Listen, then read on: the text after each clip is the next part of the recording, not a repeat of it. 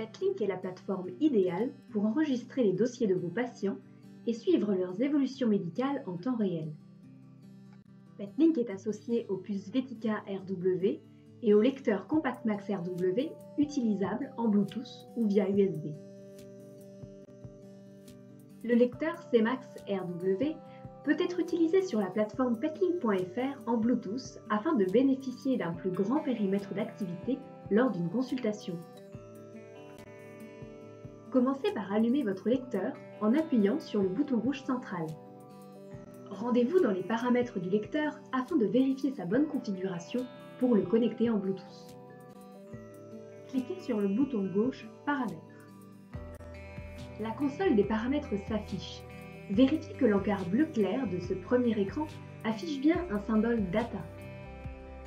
Si ce n'est pas le cas et que le symbole est un clavier, appuyez une fois sur le bouton central pour modifier l'affichage et avoir la bonne configuration de départ. Ensuite, appuyez deux fois sur le bouton de droite afin de sélectionner l'encart Bluetooth. Appuyez sur le bouton central pour entrer dans la configuration du Bluetooth. Par défaut, vous trouverez le Bluetooth sur le mode Off. Appuyez une fois sur le bouton central pour sélectionner la fonction Bluetooth. Le Bluetooth est maintenant sur On. Un icône Bluetooth blanc apparaît sur le haut du lecteur et clignote. Le lecteur est à présent configuré pour être reconnu par l'ordinateur. Pour plus de simplicité, nous vous suggérons de ne pas mettre de code de confirmation pour le jumelage entre les deux appareils. Sélectionnez PIN nul pour un jumelage plus rapide. Allez maintenant sur votre ordinateur et ouvrez-le sur la fenêtre de gestion des périphériques.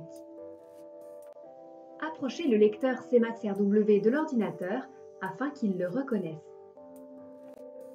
Patientez quelques instants afin que votre ordinateur fasse apparaître le lecteur comme un support prêt à être jumelé.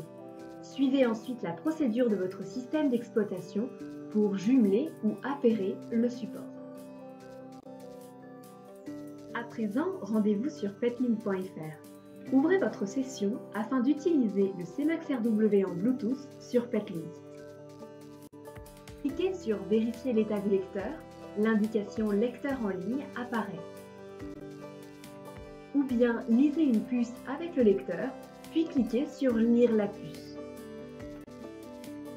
Dans les deux cas, l'icône clignotant blanc sur le lecteur se transforme en un icône vert fixe. Le lecteur est bien connecté en Bluetooth. Lors de vos prochaines lectures, votre ordinateur reconnaîtra le lecteur RW.